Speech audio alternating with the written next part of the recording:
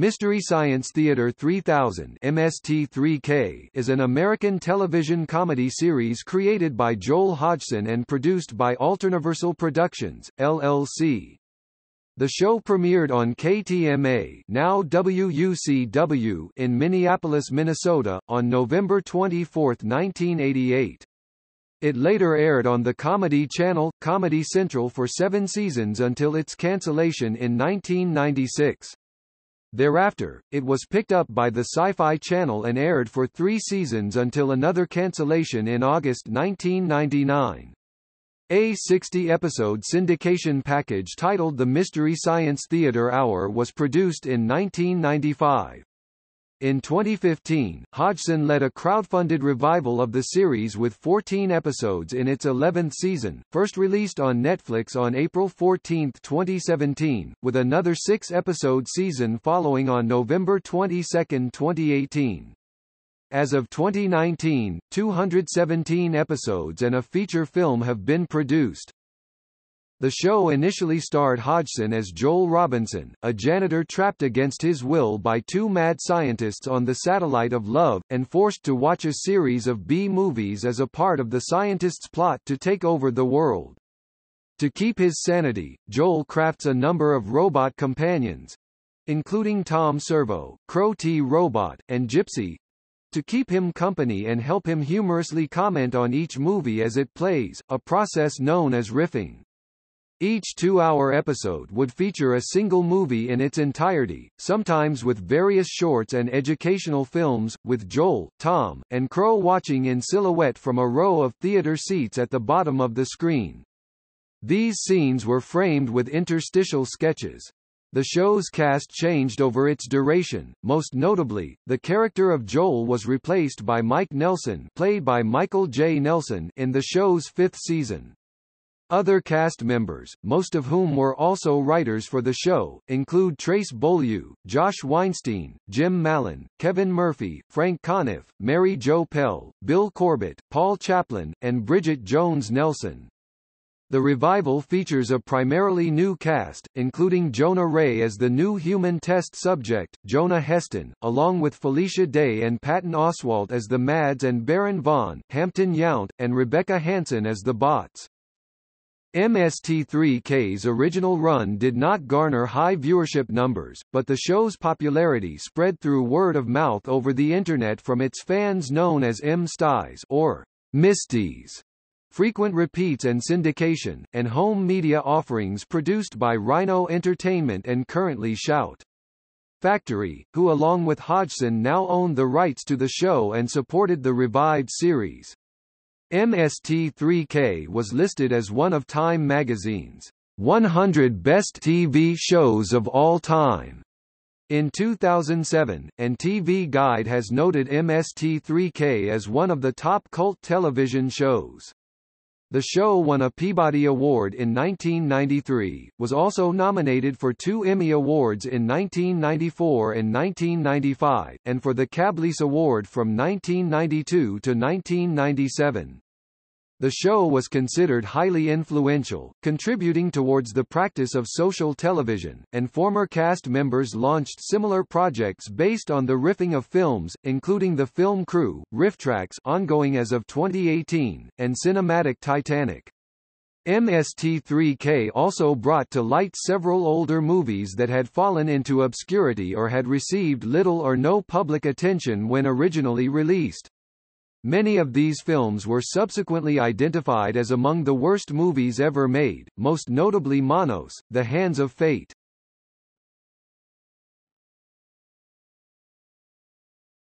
Topic. Premise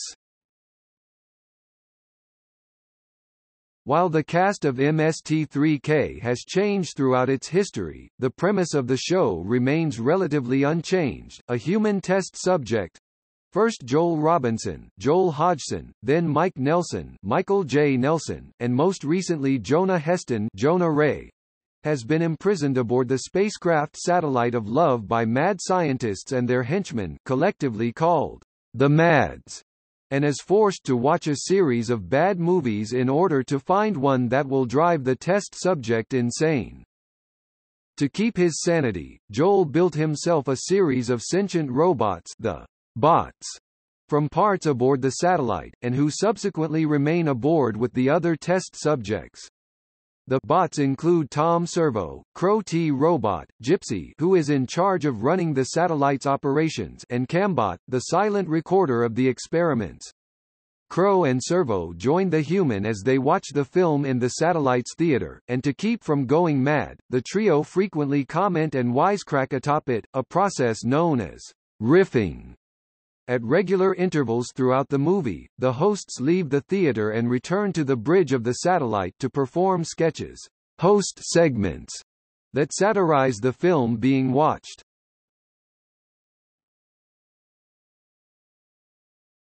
Topic. Format The general format of an MST3K episode has remained the same throughout the series run. Episodes are approximately 90 minutes in running time excluding commercial breaks and begin with a short introductory segment in which the human host and the bots interact with the MADs before being sent the movie.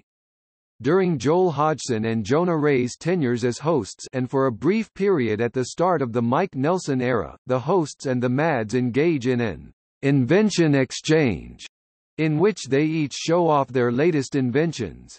Sirens and flashing lights, movie sign, then signal the characters to enter the theater. In the theater, the human host and bots Tom and Crow sit in a row of theater seats, shown in silhouette along the bottom of the screen, an approach Hodgson called Shadowrama. The three then riff on the film which is sometimes accompanied by one or more shorts as it plays for both them and the audience. Occasionally the silhouette format is used as a source of humor or as a means of creating unobtrusive censor bars for scenes containing nudity. The show transitions into and out of the theater via door sequence, a series of six doors that open or close as the camera ostensibly cambot, passes through them. At regular intervals throughout the episode, the characters leave the theater and perform sketches usually inspired by the events of the film, short being shown, frequently making use of original songs and prop comedy. Some sketches bring in new or recurring characters or other devices. The host would consult an external camera, rocket number 9, to show events happening outside the satellite, and the Hexfield viewscreen would be used to communicate with other characters from the ship's bridge. At the end of each sketch, movie sign is triggered again and the characters must re-enter the theater. During Hodgson's period on the show, the final sketch aboard the satellite often included reading of fan mail from the MST3K fan club. Fan mail readings decreased during Mike Nelson's tenure as host and were dropped entirely once the show moved onto the Sci-Fi Channel. The final sketch of an episode typically ends on the Mads, with the lead Mad asking their lackey to push the button to end the transmission and transitioning to the credit sequence. After the credits, a humorous short clip from the presented film is replayed as a stinger to end the episode. In 1995, a limited selection of episodes were repackaged into an hour-long show titled Mystery Science Theater Hour, meant to be better suited for off-network syndication. In these, the original episode was split into two parts of roughly 45 minutes each excluding commercials. New skits leading and ending each episode incorporated Mike Nelson portraying television host Jack Perkins in a parody of Perkins' biography series in mock flattery of the MST3K episode being shown.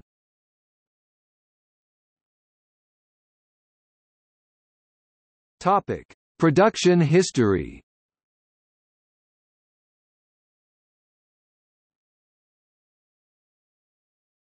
Topic. Concept Hodgson is credited for devising the show's concept. Prior to the show, Hodgson was an up-and-coming comedian from Minneapolis having moved to Los Angeles and made appearances on Late Night with David Letterman and Saturday Night Live. He had been invited by Brandon Tartikoff to be on a NBC sitcom co-starring Michael J. Fox, but Hodgson felt the material was not funny and declined the proposed sitcom went in realized. He further became dissatisfied with the Hollywood attitudes when they tried to double their offer, acquiring what he called a healthy disrespect for the industry. He moved back to Minneapolis Street. Paul, taking a job in a T-shirt printing factory that allowed him to conceive of new comedy ideas while he was bored. One such idea was the basis of MST3K, a show to comment humorously on movies and that would also allow him to showcase his own prop comedy-style humor.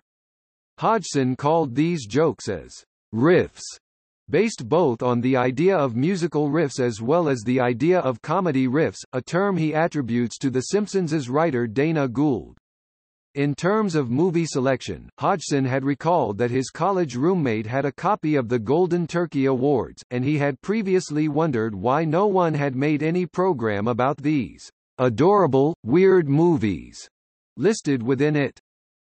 Hodgson said that part of the idea for MST3K came from the illustration for the song, I've Seen That Movie Too, drawn by Mike Ross in the liner notes from Elton John's Goodbye Yellow Brick Road album, showing silhouettes of two people in a theater watching a movie. Hodgson also likened the show's setting to the idea of a pirate radio station broadcasting from space. Hodgson credits Silent Running, a 1972 science fiction film directed by Douglas Trumbull, as being perhaps the biggest direct influence on the show's concept. The film is set in the future and centers on a human, Freeman Lowell Bruce Dern, who is the last crew member of a spaceship containing Earth's last surviving forests. His remaining companions consist only of three robot drones. MST3K and the Joel Robinson character occasionally reflected Lowell's hippie-like nature. Hodgson wanted the feel of the show to appear homemade, and cited the example of a crude mountain prop used during the Saturday Night Live sketch, Night on Freak Mountain, that received a humorous reaction from the studio audience as the type of aesthetic he wanted for the show. Both old movies and music inspired several of the show's character names as developed by Hodgson. The show's name came from the promotional phrase, Mystery Scientist, used by magician Harlan Tarbell and a play on the name of Sun Ra's band, the Myth Science Arkestra. The 3000 was added to spoof the common practice of adding 2000 to show and product names in light of then upcoming 21st century, and Hodgson thought it would set his show apart to make it 3000. Dr. Forrester was named after the main character of the War of the Worlds. The Satellite of Love was named after the song of the same name by Lou Reed. Crow T Robot was inspired by the song Crow from Jim Carroll's Catholic Boy, while Rocket No. 9's name was inspired by the original name of Sun Ra's album Interstellar Low Ways, the theater shots, the primary component of an episode, is taped in Shadowrama. The seats were a black painted foamcore board sitting behind the seat towards the camera for the host, and stages for the Crow and Tom puppets. The human host wore black clothing while the robot puppets were painted black. The screen they watched was a white Luma key screen as to create the appearance of silhouettes. The actors would follow the movie and the script through television monitors located in front of them, as to create the overall theater illusion. The door sequence was created to transition from skit segments to the theater segments, which Hodgson took inspiration from the Mickey Mouse Club, noting that the commonality to the title credits of Get Smart were coincidental. In devising this sequence, this also led to Beaulieu creating the dogbone-like shape of the Satellite of Love with additional inspiration taken from the bone-to-ship transition in the film 2001, A Space Odyssey. Hodgson had wanted to use a motivated camera for taping, a concept related to motivated lighting. In this mode, all the shots would appear to have been taken from an actual camera that was part of the scene to make the scene appear more realistic. This led to the creation of Cambot as a robot that the host would speak to during host segments or recording them while in the theater, and Rocket Number 9 to show footage outside of the Satellite of Love, the show's theme song, the Love theme from Mystery Science Theater 3000 was written by Hodgson and Weinstein, which helped to cement some of the broader narrative elements of the show, such as the Mads and Joel being part of an experiment. The song was composed by Charlie Erickson with help from Hodgson in the style of Devo, The Replacements, and the Rivieras particularly their cover of the song, California Sun, and sung by Hodgson. Initial shows used foam letters to make the show's title, but they later created the Spinning Moon logo out of a 2-foot (0.6 meters) diameter fiberglass ball, covered with foam insulation and the lettering cut from additional foam pieces. Hodgson felt they needed a logo with the rotating effect as opposed to a flat 2D image, and though they had envisioned a more detailed prop, with the letters being the tops of buildings on this moon, they had no time or budget for a project of that complexity and went with what they had. Musical numbers would also be used as part of the host segments, which Hodgson said came out naturally from the riffing process. They would find themselves at times singing along with the movie instead of just riffing at it, and took that to extend songs into the host segments.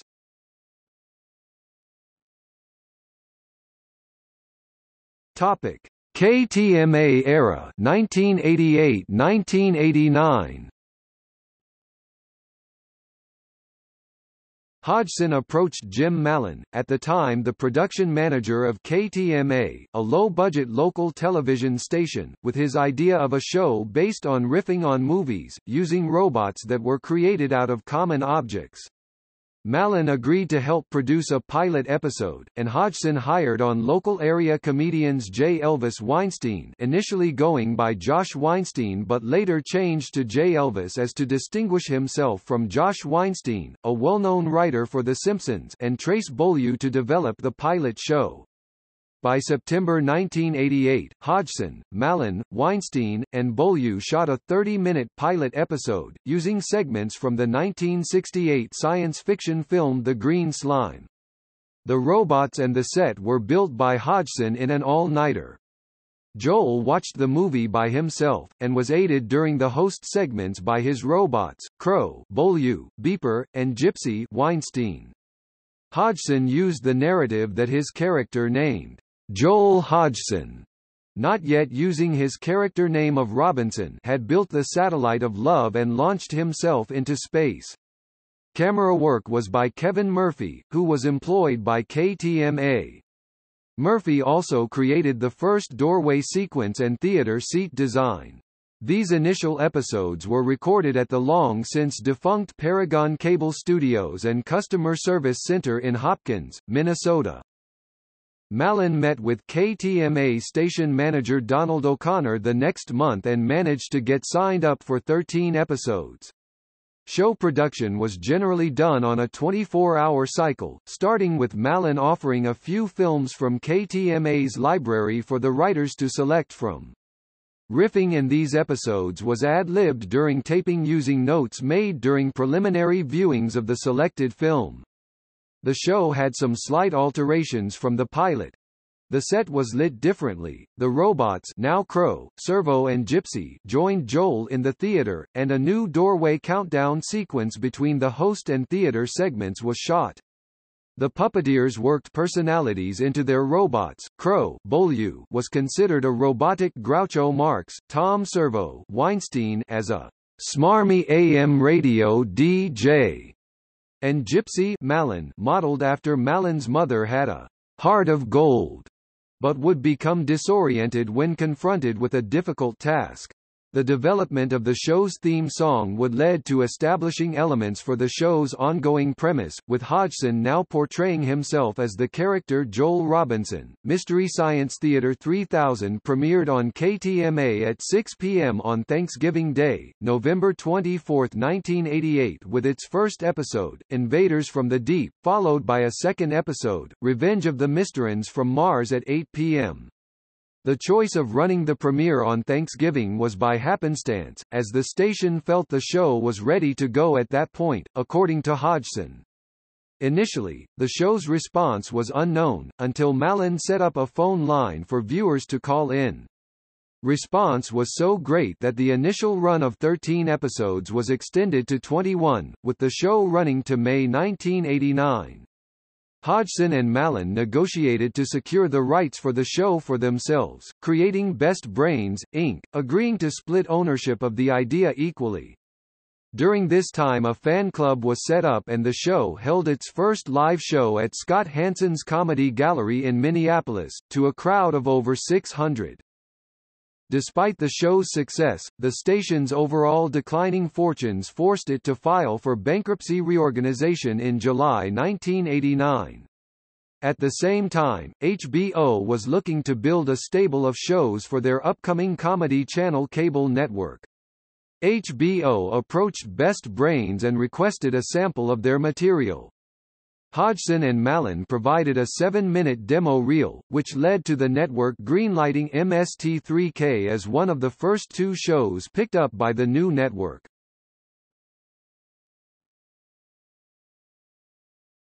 Topic: Comedy Channel, Comedy Central era, 1989 to 1996. The Comedy Channel offered Best Brains $35,000 per episode but allowed Best Brains to retain the show's rights. Best Brains was also able to keep production local to Minnesota instead of the network's desire to film in New York City or Los Angeles, as it would have cost four times more per episodes, according to Hodgson.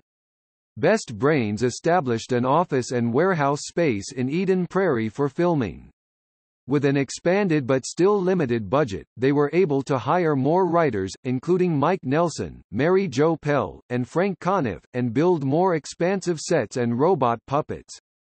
They created the characters of Dr. Forrester Beaulieu and Dr. Erhardt Weinstein and crafted the larger narrative of each episode being an experiment they test on Joel. The show began its national run shortly after the Comedy Channel went on the air in November 1989. MST3K was considered Comedy Channel's signature program, generating positive press about the show despite the limited availability of the cable channel nationwide. After the second season, the Comedy Channel and rival comedy cable network HA, merged to become Comedy Central. During this period, MST3K became the newly merged cable channel's signature series, expanding from 13 to 24 episodes a year. To take advantage of the show's status, Comedy Central ran Turkey Day, a 30-hour marathon of MST3K episodes during Thanksgiving 1991. The name of the event was not only inspired by the traditional turkey meal served on Thanksgiving, but also by use of turkey from the Golden Turkey Awards to represent bad movies. This tradition would be continued through the rest of the Comedy Central era. Though the show did not draw large audience numbers compared to other programming on Comedy Central, such as reruns of Saturday Night Live, the dedicated fans and attention kept the show on the network. Mystery Science Theater 3000, the movie was produced during the later half of the Comedy Central era and had a very limited theatrical release in 1996 through Universal Pictures and Gramercy Pictures. It featured Mike and the bots subjected to the film This Island Earth by Dr. Forrester. Though well received by critics and fans, the film was a financial disappointment due to its limited distribution.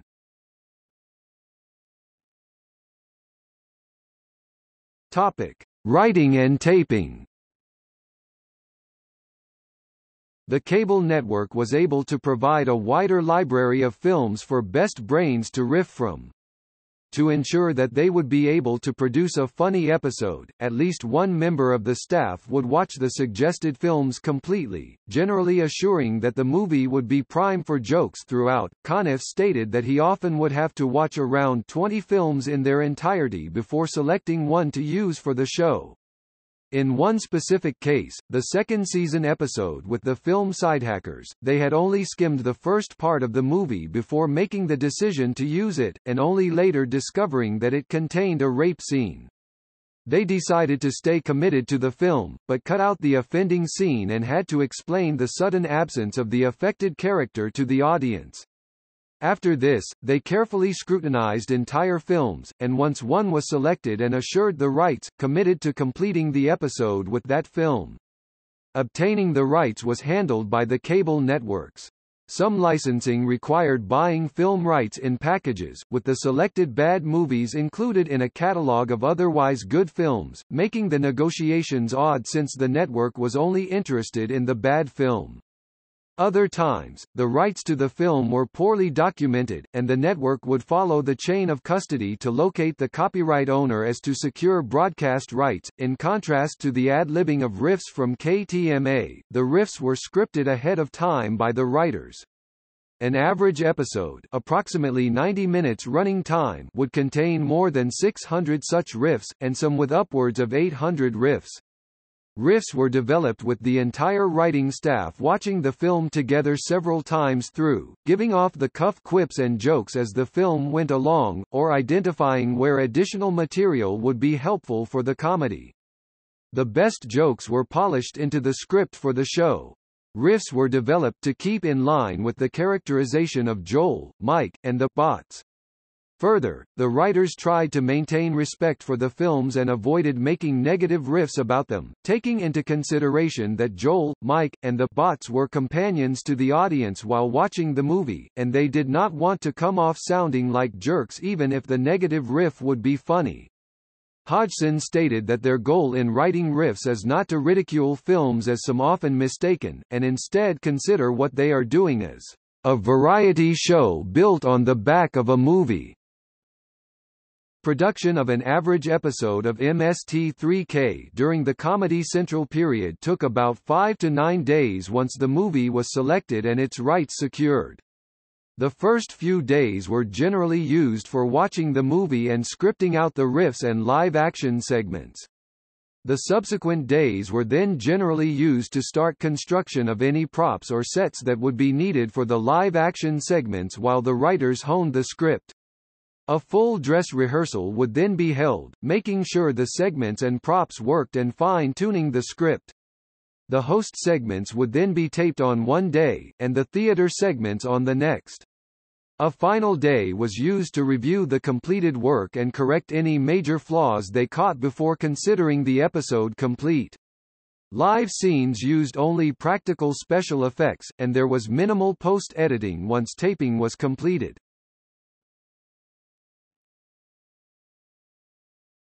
Topic: Cast changes. Weinstein left the show after the first Comedy Channel season, reportedly in disagreement with Hodgson about moving toward using scripted rather than ad-libbed jokes. Murphy replaced him as the voice of Tom Servo, portraying the bot as a cultured individual, while Dr. Erhardt was replaced with TV's Frank Conniff. Hodgson decided to leave the series halfway through season 5 due to his dislike of being on camera and his disagreements with producer Mallon over creative control of the program. Hodgson also stated that Mallon's insistence to produce a feature film version of the show led to his departure, giving up his rights on the MST3K property to Mallon. Hodgson later told an interviewer, If I had the presence of mind to try and work it out, I would rather have stayed. Cause I didn't want to go, it just seemed like I needed to. Though they held casting calls for a replacement for Hodgson on camera, the crew found that none of the potential actors really fit the role. Instead, having reviewed a test run that Nelson had done with the bots, the crew agreed that having Nelson, who had already appeared in several guest roles on the show, replace Hodgson would be the least jarring approach. The replacement of Joel by Mike would lead to an oft-jokingly, Joel versus Mike flame war, among fans, similar to the Kirk vs. Picard discussions in the Star Trek fandom, Conniff left the show after season 6, looking to get into show writing in Hollywood. On screen, TV's Frank was soon replaced by Dr. Forrester's mother, Pearl Pehl.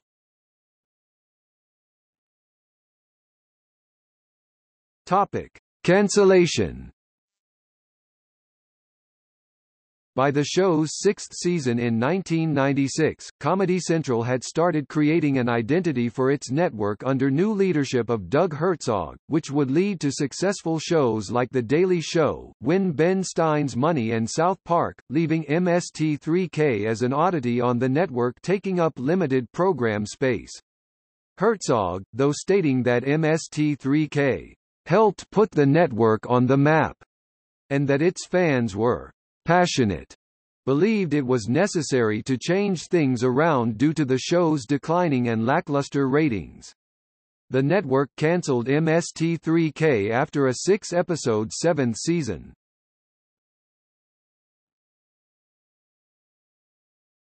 Topic: Sci-Fi Channel era 1997 to 1999.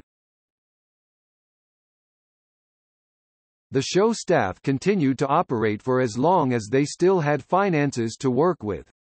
MST3K's fan base staged a write-in campaign to keep the show alive. This effort led the Sci-Fi Channel, a subsidiary of USA Networks, to pick up the series.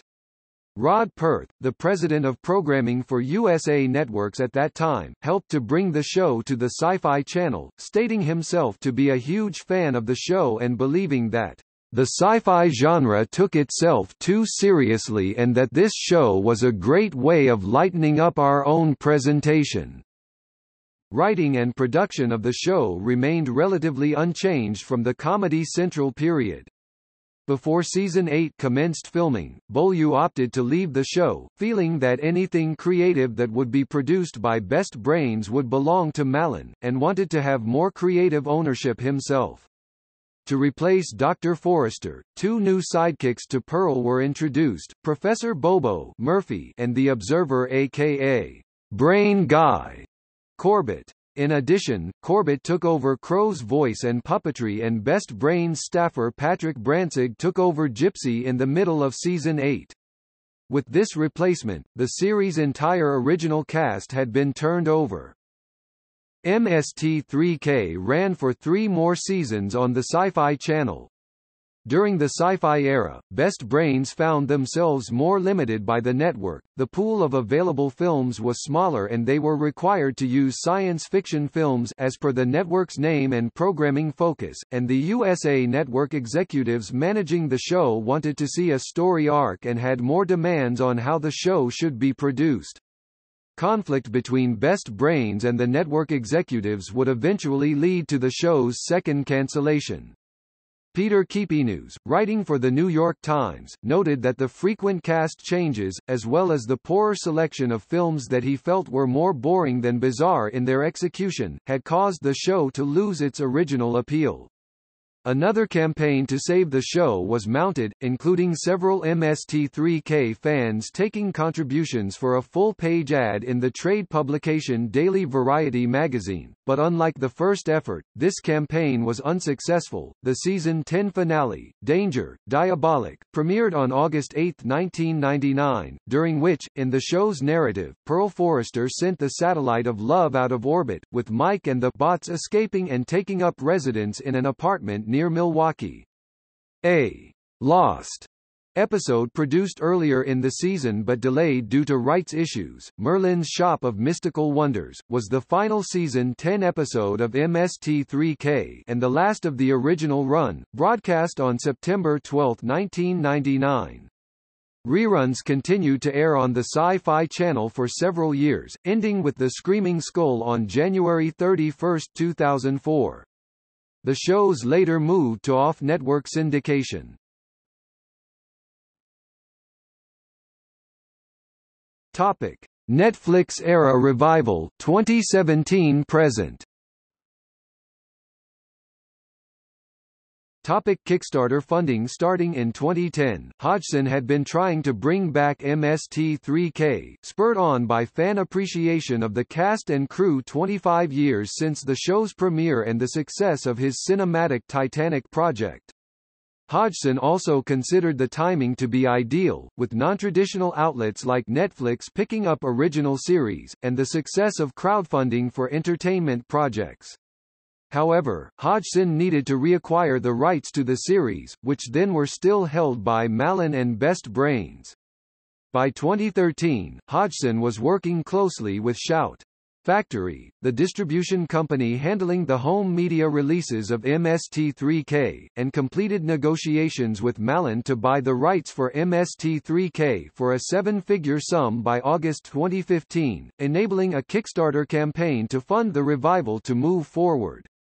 Hodgson felt the Kickstarter approach was necessary so that the show's style and approach would be determined by fans rather than through a network if he had sought traditional broadcast funding, as well as to demonstrate the demand for the show through a successful campaign. The Kickstarter was launched in November 2015, seeking $2 million for the production of three episodes, with stretch goals with additional funding for 12 total episodes.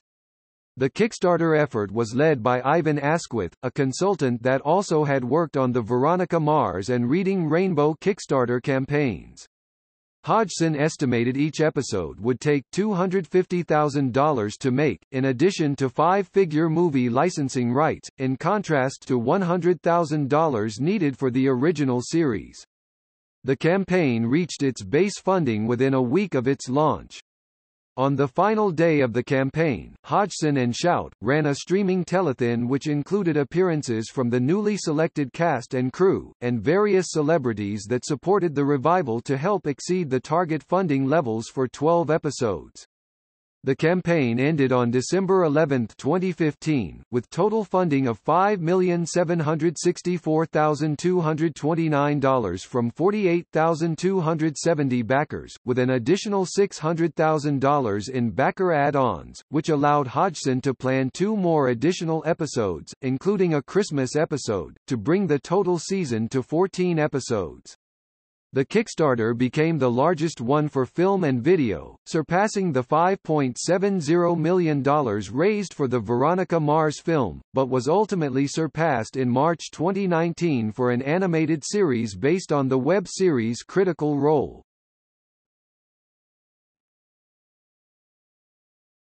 Topic: Casting Hodgson believed that the revival would need a wholly new cast, considering that the cast had completely turned over in the original series. Comedian Jonah Ray plays Jonah Heston, the new host aboard the Satellite of Love, watching and riffing on the films. Hodgson had met Ray while recording an episode of the Nerdist podcast, and felt he would be a good fit. The voices of Crow and Tom Servo are provided by comedians Hampton Yount and Baron Vaughn, respectively, both of whom Ray recommended to Hodgson. Hodgson felt it was important for Ray to have his say on who would play these parts, since it would help Ray be comfortable in the role. Felicia Day plays Kinga Forrester, Clayton Forrester's daughter and one of the new MADs in charge of the experiments, now operating out of a moon base known as Moon 13. Day had been one of the last to be cast, as Hodgson had scripted out the concept for Forrester's daughter while casting Ray and the others. Hodgson had met Day at the 2015 Salt Lake Comic Con, where she stated her love of MST3K to him.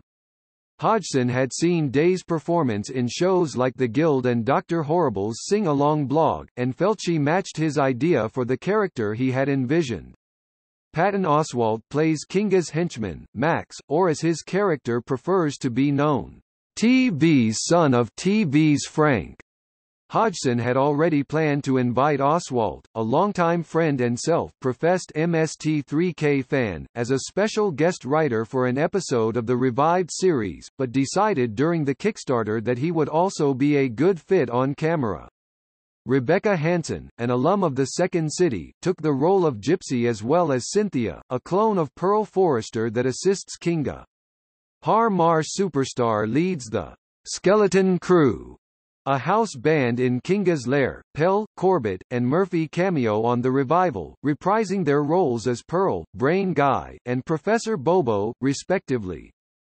Hodgson opened up to the show any of the other cast members to make cameo appearances or aid in the creative process.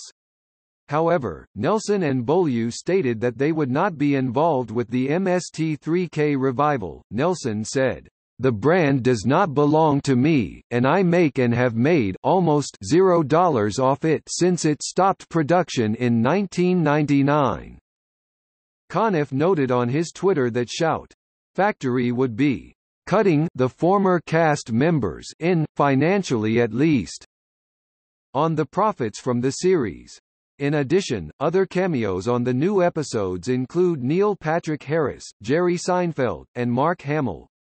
Weinstein initially expressed disinterest in returning to the show, but eventually reprised his role as Dr. Lawrence Erhardt in the second season of the Netflix revival.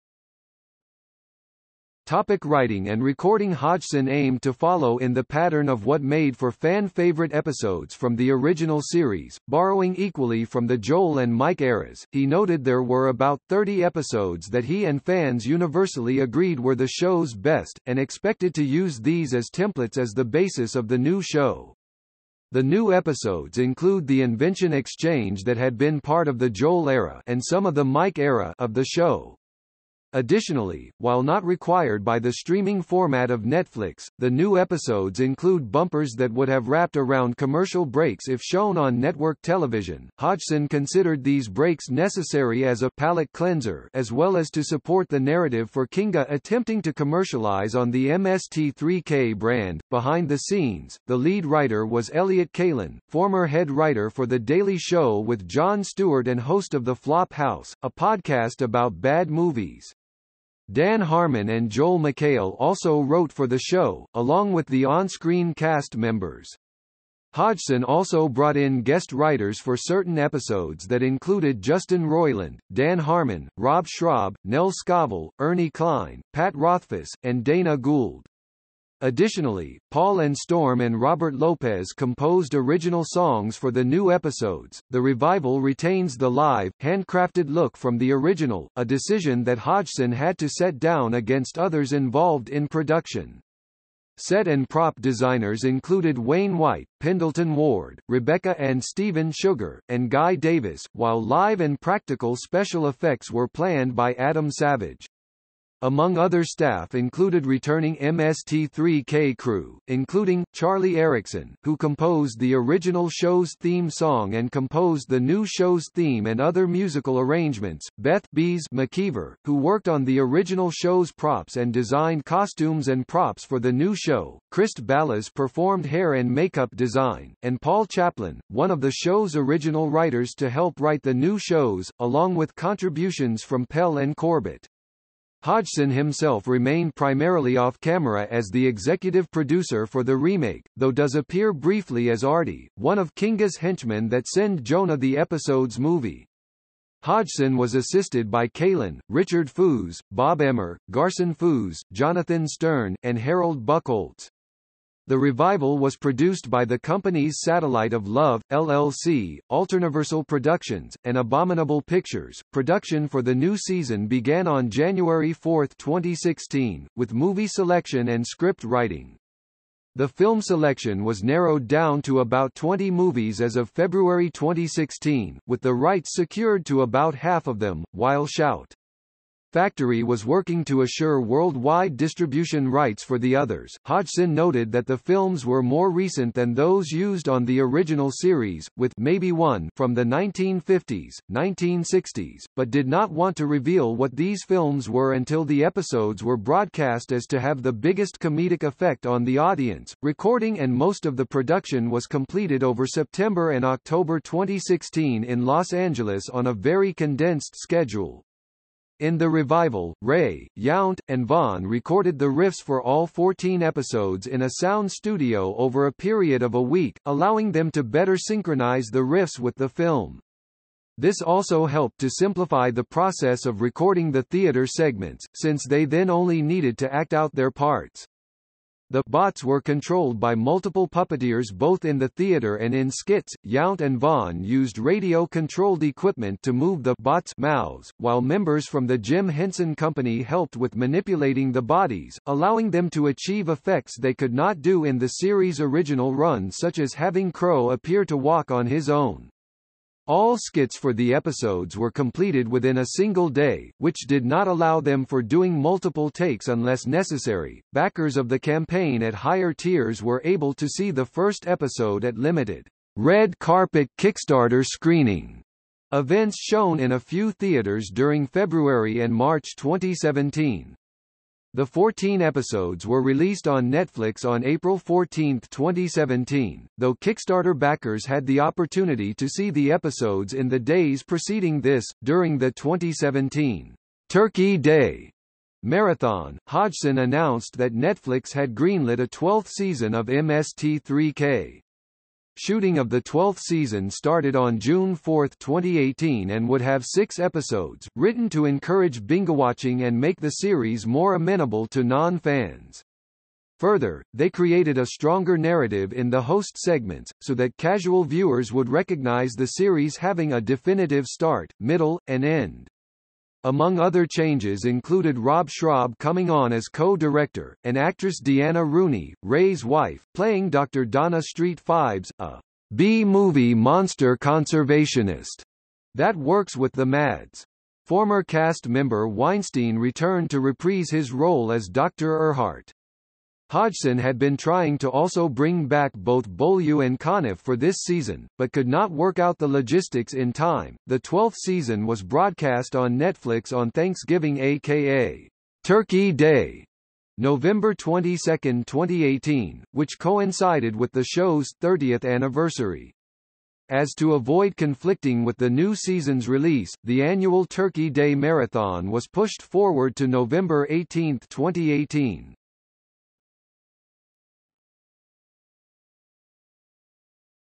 Topic. Cast Notes Topic. Episodes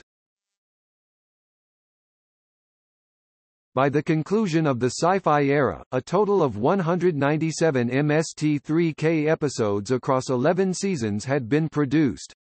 This does not include the Green Slime pilot episode, which was used to sell the concept to KTMA but otherwise was never broadcast. The revived show currently consists of two seasons of 14 and 6 episodes respectively, bringing the total episode count to 217.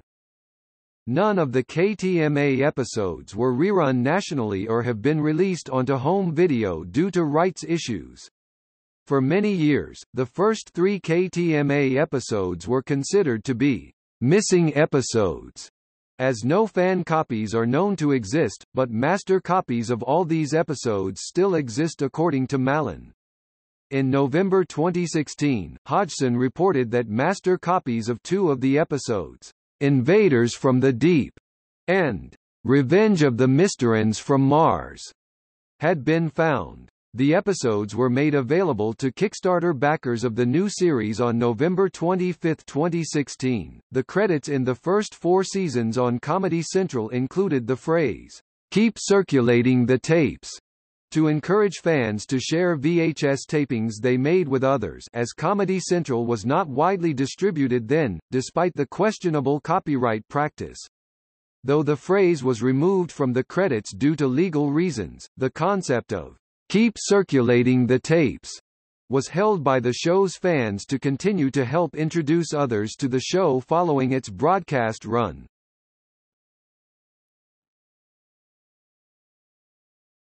Topic: Turkey Day marathons. An annual event in the Comedy Central era was the Turkey Day Marathon that ran on or near the Thanksgiving holiday. The marathon would show between 6 and 12 rebroadcasts of episodes, often with new material between the episodes from the cast and crew. While the show was on Sci-Fi, one Thanksgiving Day marathon of MST3K was held during its first season, but lacked any new interstitial material, following its acquisition of the series rights. Shout! Factory has streamed Turkey Day marathons on Thanksgiving since 2013, broadcasting six of the MST3K episodes and wrapped with introductions from Hodgson alongside other cast members at times. The event was intended to be a one-off, but the fans' reaction to it led Hodgson and Shout to continue the tradition in subsequent years. The 2015 Turkey Day coincided with the Kickstarter for the show's revival, while the 2016 Turkey Day includes the revival's new host Ray co-hosting alongside Hodgson. The 2017 Turkey Day was hosted by Hodgson, Ray and Felicia Day, and concluded with a surprise announcement that the show had been renewed on Netflix for another season.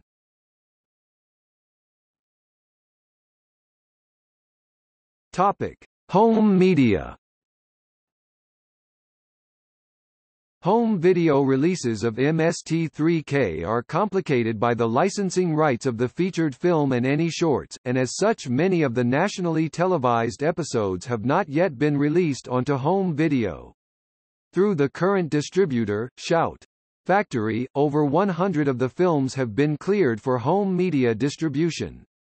With Shout's release of the 39th volume of MST3K episodes in 2017, the company anticipated that only about a dozen episodes out of 197 from the original series run will never make it to home video due to licensing rights issues of the movies featured. Original home media releases were issued by Rhino Entertainment, initially starting with single disc releases before switching to semi-regular four-episode volume sets.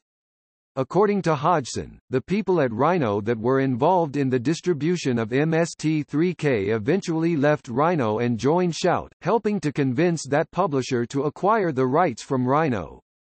Since 2008, all releases of MST3K have been through Shout, including some reprints of the first Rhino volume set and have typically been multi-episode volumes or themed packs. In 2014, 80 episodes of the show were made available for purchase or rental on the video streaming site Vimeo. Shout! has uploaded some episodes to YouTube with annotations, as documented by the annotated MST fansite, to explain some of the sources of the jokes in the riffs. In February 2015, Shout! launched its own streaming service, Shout! Factory TV, of which selected episodes of MST3K were included on the service. Selected episodes were also made available on demand through RiffTrax starting in November 2015. 20 episodes from previous MST3K seasons were released by Netflix in all regions in anticipation of the revival series. All episodes of season 11 were released on a DVD, Blu-ray box set on April 17, 2018, which includes a documentary behind the making of the first revival season.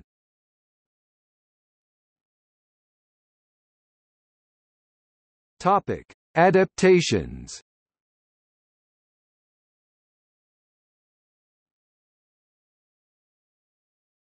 Topic: Syndication.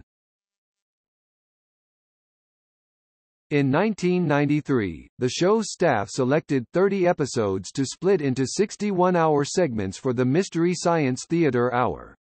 The repackaged series' first-run airings of these half-shows ran from November 1993 to July 1994. Reruns continued through December 1994, and it was syndicated to local stations from September 1995 to September 1996, allowing stations to run the series in a one-hour slot, or the original two-hour version. MST3K returned to television for the first time in 10 years in July 2014, when Retro TV began broadcasting the series on Saturday nights, with an encore on Sunday evenings. The following year, they started showing on PBS member stations. In the summer of 2016, Sinclair Broadcast Group and MGM's joint venture Sci-Fi Network Comet picked up the series for a weekly Sunday night double run. By coincidence, Sinclair's CW station, WUCW in the Twin Cities, which had originated the series when it was KTMA-TV, carries Comet on their second subchannel, returning the series to its original home for the first time in 27 years.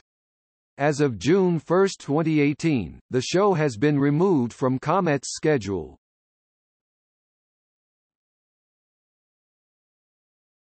Topic: Feature film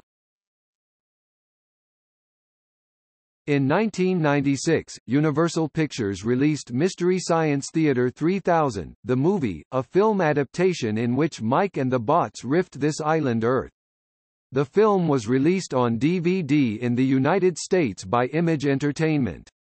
Universal re-released the film on DVD on May 6, 2008, with a new anamorphic widescreen transfer, Dolby Digital 5.1 surround sound mix and the film's original trailer.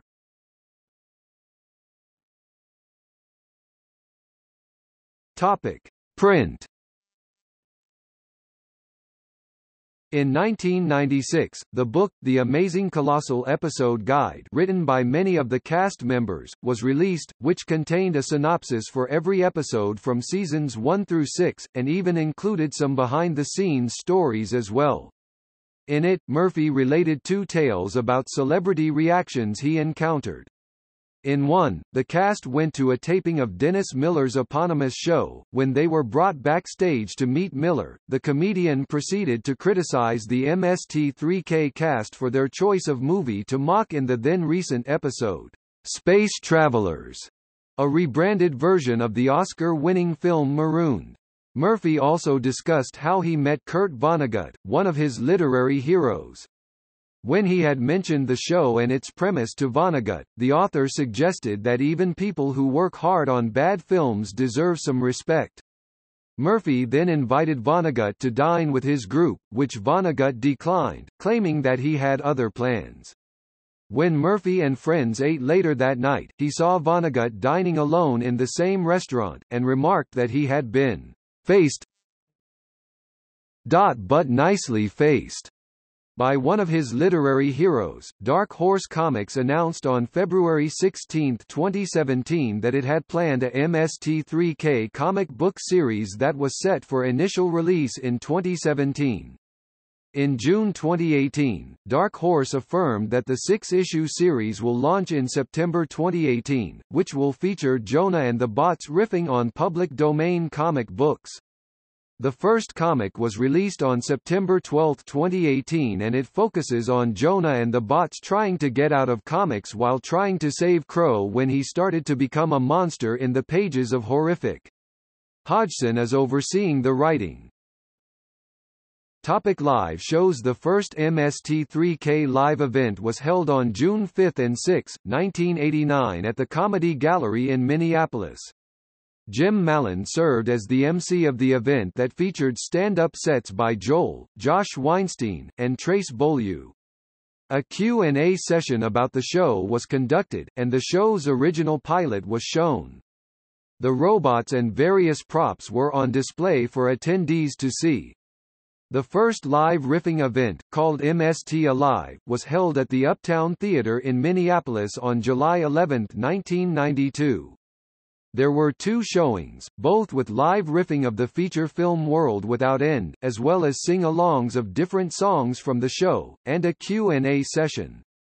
The events were hosted, in character, by Dr. Forrester and TV's Frank. Hodgson and the team for the 2017 revival announced an MST3K Watch Out for Snakes tour during mid-2017 covering 29 cities in the United States and Canada.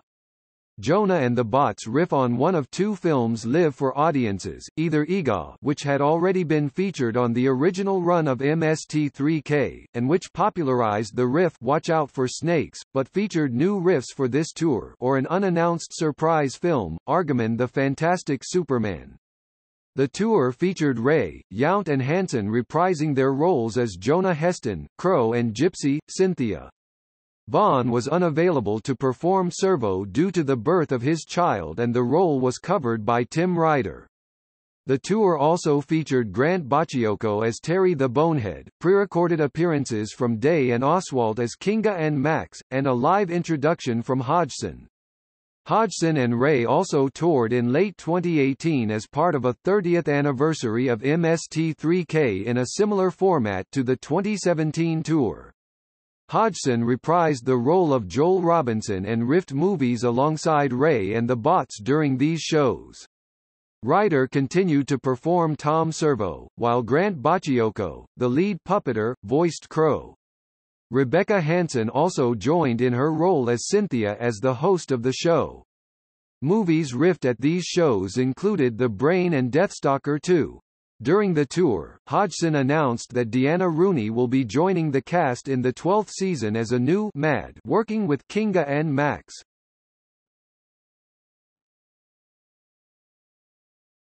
Topic: Other appearances. In 1996, during promotion for the film, Nelson and the Bots were interviewed in character on MTV, and seen in silhouettes heckling footage from MTV News. Also that year, Hodgson was a featured guest on Cartoon Network's Space Ghost Coast to Coast. In 1997, the E! Network's Talk Soup Show, starring John Henson, featured guest appearances from Mike, Crow, and Tom Servo. In 1997, the video game magazine PlayStation Underground Volume 2, Number 1 included a Best Brains produced MST3K short on one of their promotional discs. The video opened with a host segment of Mike and the bots playing some PlayStation games, only to go into the theater to riff on some videos from the magazine's past. The feature is about seven minutes long. An Easter egg on the disc has some behind-the-scenes footage of Best Brains filming the sequences. In 2007, a new online animated web series, referred to as The Bots Are Back, was produced by Mallon. The series planned a weekly adventure featuring Crow, Tom Servo, and Gypsy, with Mallon reprising his role as Gypsy and Paul Chaplin as Crow. However, only a handful of episodes were released, and the series was abandoned due to budgetary issues. The general internet response to the webisodes was largely negative.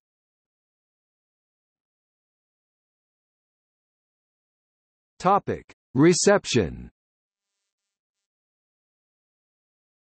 In 2004, the show was listed as number 11 in a featured TV Guide article, 25 Top Cult Shows Ever, and included a sidebar which read, Mike Nelson, writer and star replacing creator Joel Hodgson, recently addressed a college audience, there was nobody over the age of 25.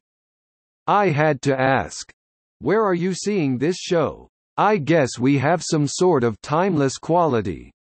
Three years later, TV Guide rewrote the article, and bumped MST3K to number 13. In 2007, the show was listed as one of Time magazine's 100 Best TV Shows of All Time. In 2012, the show was listed as number 3 in Entertainment Weekly's 25 Best Cult TV Shows from the Past 25 Years, with the comment that MST3K taught us that snarky commentary can be way more entertaining than the actual media. The 2017 relaunch was generally met with similar praise as the original series, keeping with the spirit of the show's premise but with enough improvements to make it accessible to modern audiences.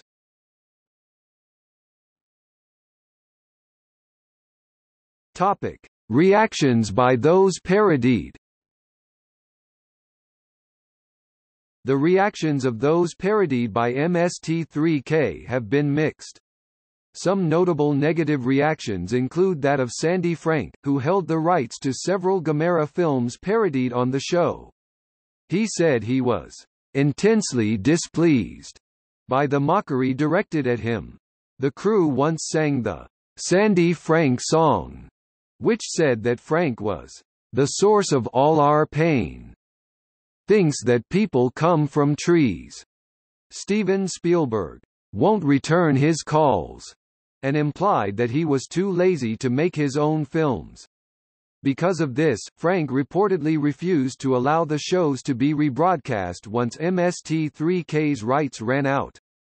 However, this may in fact be a rumor, as other rumors indicate that the Gamera film's distribution rights prices were increased beyond what BBI could afford as a result of the show's success.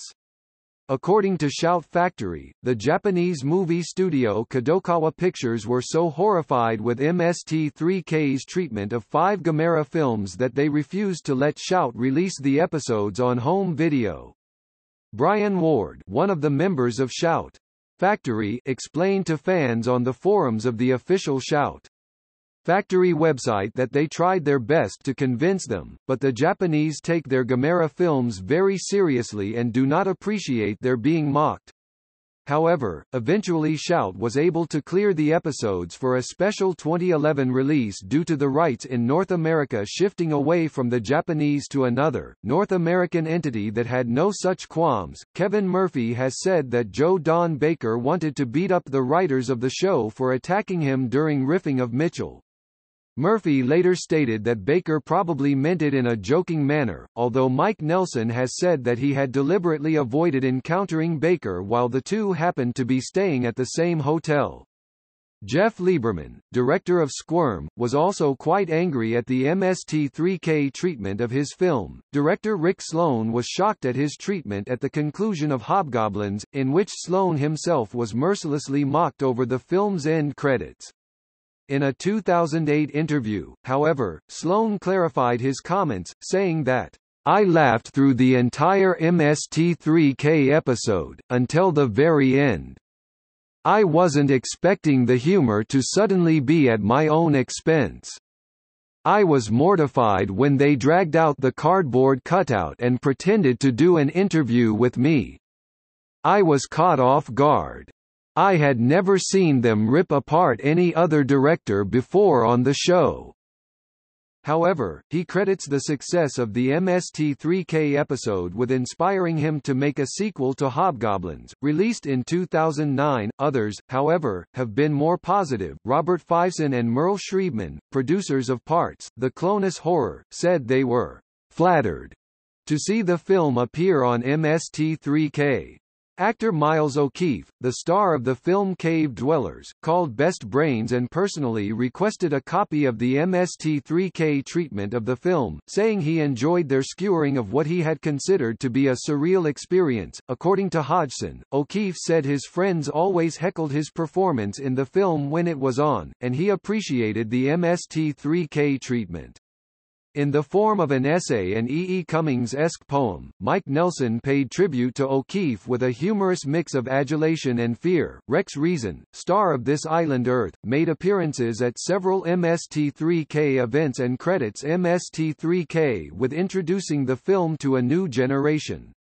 The crew of Time Chasers held a party the night the MST3K treatment of their film aired and, while reactions were mixed, director David Giancola said, Most of us were fans and knew what to expect and we roared with laughter and drank way too much.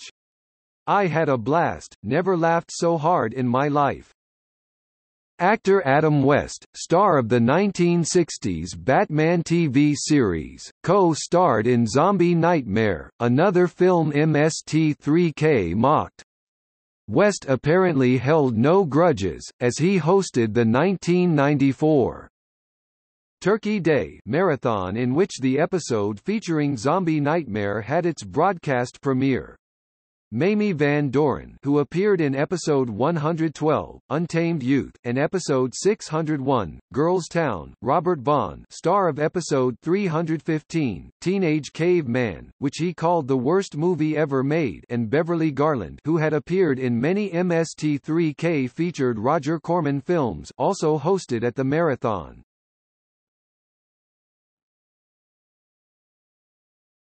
Topic. Awards In 1993, MST3K won a Peabody Award for producing an ingenious eclectic series. With references to everything from Proust to Gilligan's Island, Mystery Science Theater 3000 fuses superb, clever writing with wonderfully terrible B-grade movies.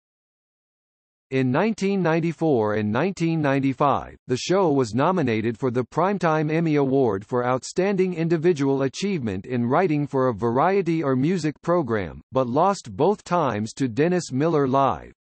Every year from 1992 to 1997, it was also nominated for CableACE Awards. Its DVD releases have been nominated for Saturn Awards in 2004, 2006, 2007, and 2018.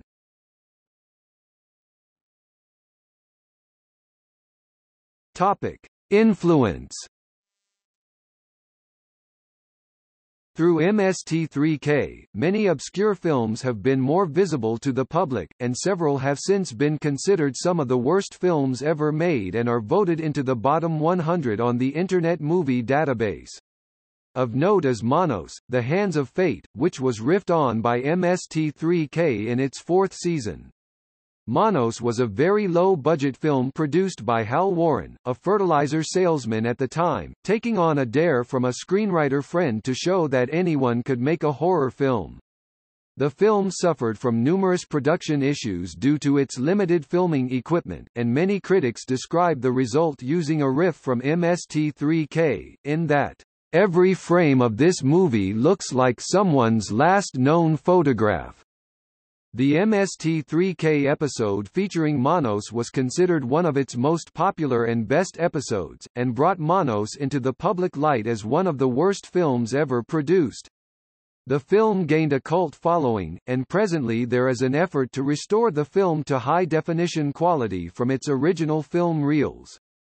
MST3K also riffed on three films directed by Coleman Francis, Red Zone Cuba, The Skydivers, and The Beast of Yucca Flats, which brought awareness of Francis's poor direction and low-budget films, similar to that of Ed Wood.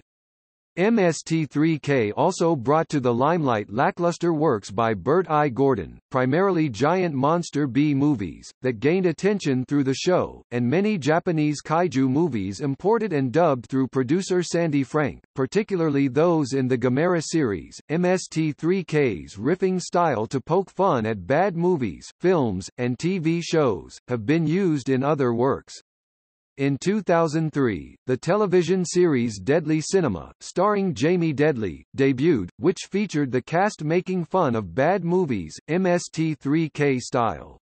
In 2004, the ESPN classic series Cheap Seats, debuted, which featured two brothers making fun of clips of old sporting events, MST3K style, and is noteworthy for containing an episode in which Mike, Crow, and Tom Servo briefly appeared in a cameo to make fun of the host's own skits.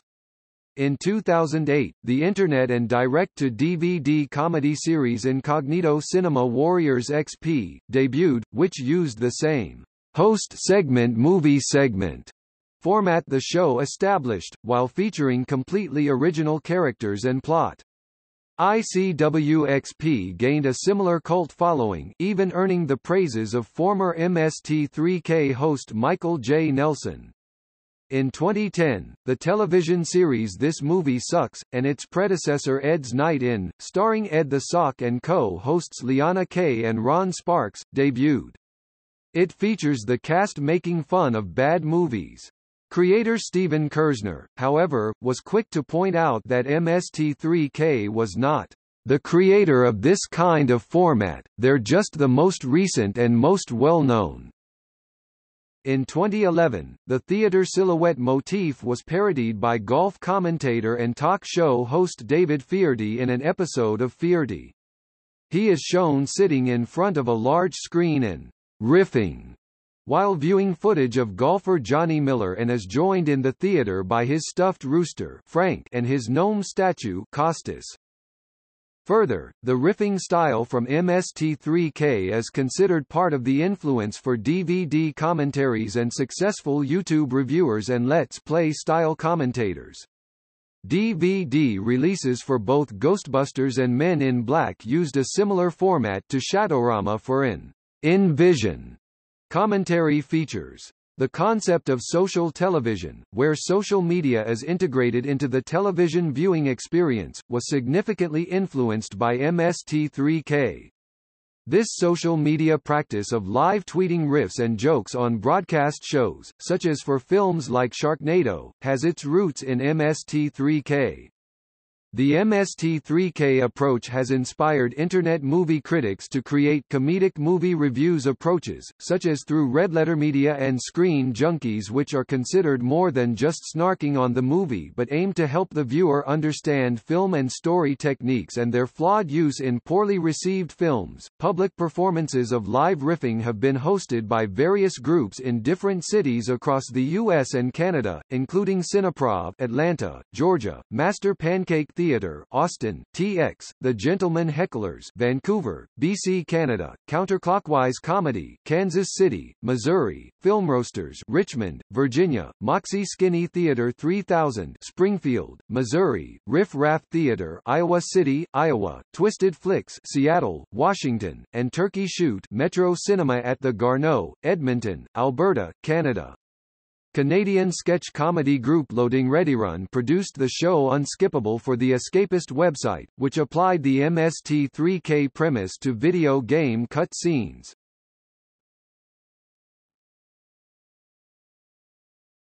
Topic: Fandom MST3K, broadcasting during the emergence of the Internet for public use, developed a large fan base during its initial broadcast, which has continued to thrive since then. The show had already had its postal-based fan club, which people could write into and which some letters and drawings read on subsequent episodes, and the producers encouraged fans to share recordings of their episodes with others. At its peak, the MST3K Fan Club had over 50,000 members, and Best Brains were receiving over 500 letters each week. Fans of the show generally refer to themselves as MSTies. Usenet newsgroups rec.arts.tv.mst3k.misc and rec.arts.tv.mst3k.announce were established in the mid-1990s for announcements and discussions related to the show a type of fan fiction called mistings, in which fans would add humorous comments to other, typically bad, fan fiction works, was popular on these groups. The fan-run website Satellite News continues to track news and information about the show and related projects from its cast members. Another fan site, the annotated MST, attempts to catalog and describe all the obscure popular culture references used in a given episode. In addition to the show's fandom, a number of celebrities have expressed their love for the show. One of the earliest known celebrity fans was Frank Zappa, who went so far as to telephone Best Brains, calling MST3K as the funniest fucking thing on TV. According to Beaulieu. Zappa became a friend of the show, and following his death, episode 523 was dedicated to him. Other known celebrities fans include Al Gore, Neil Patrick Harris, Penn Jillette, and Patton Oswalt. There were two official fan conventions in Minneapolis run by the series production company Best Brains called ConventionCon Expofest Arama 1994 and ConventionCon Expofest Arama 2, Electric Boogaloo. 1996. At least 2,500 people attended the first convention.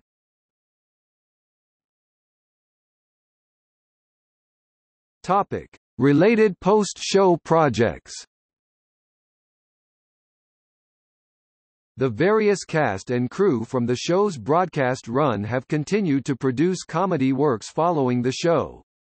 Two separate projects were launched that specifically borrowed on the theme of riffing on bad movies.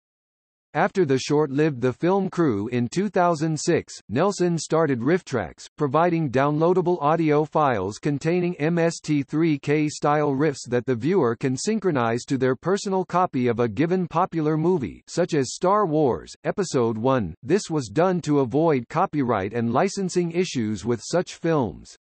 RiffTrax's cast expanded to include Murphy and Corbett along with occasional guest stars, and are able to use a wider range of films, including films and shorts in the public domain, and films which they could get the license to stream and distribute. In addition, they launched production of RiffTrax live shows for various films, where they perform their riffing in front of a live audience that ism simultaneously broadcast to other movie theaters across the country and later made available as on-demand video. As of 2018, RiffTrax continues to offer new material and shows.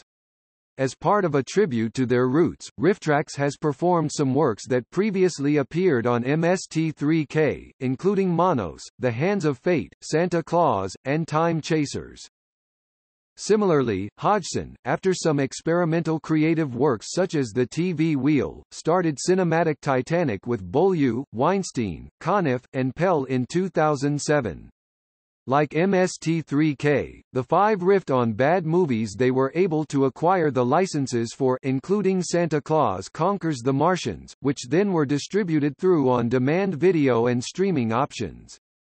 They later did a number of live shows across the United States, some which were made available for digital demand.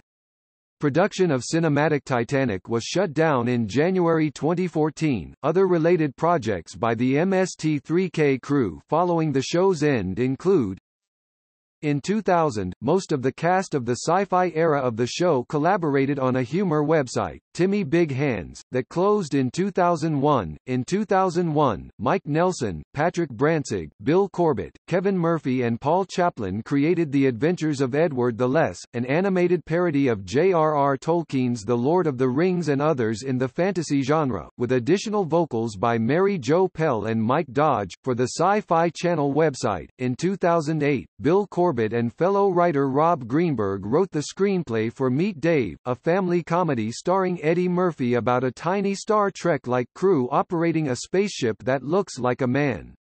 The captain of the crew and the spaceship were both played by Murphy.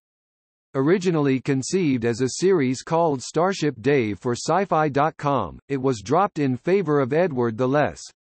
The script along with the title were changed drastically by studio executives and other writers, although Corbett and Greenberg received sole screenwriter credit. In 2010, Trace Beaulieu, Frank Conniff, Joel Hodgson, Mary Jo Pehl, Josh Weinstein, Beth McKeever and Clive Robertson voiced characters for Darkstar, the interactive movie, a computer game created by J. Allen Williams. In 2013, Frank Conniff and animation historian Jerry Beck debuted Cartoon Dump, a series of classically bad cartoons, which are also occasionally performed live. In 2015, Trace Beaulieu and Frank Conniff began performing together as The Mads, riffing movies at live screenings across the U.S.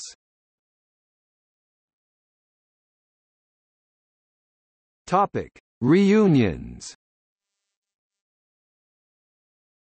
In 2008, to commemorate the show's 20th anniversary, the principal cast and writers from all eras of the show reunited for a panel discussion at the San Diego Comic-Con, which was hosted by actor-comedian Patton Oswalt. The event was recorded and included as a bonus feature on the 20th anniversary DVD release via Shout!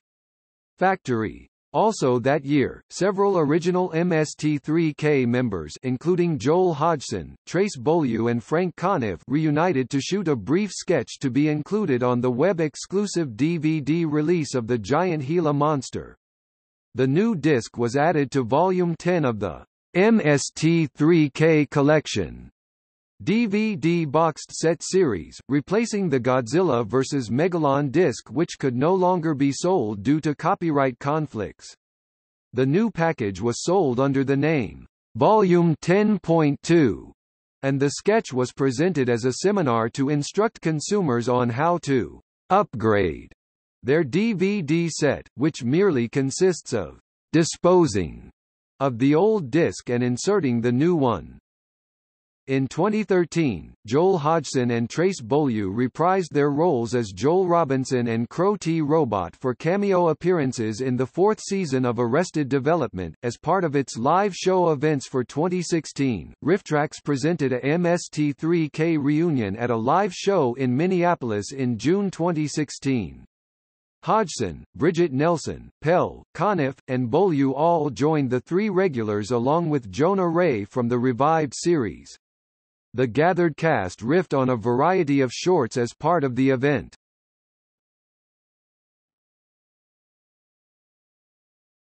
Topic. See also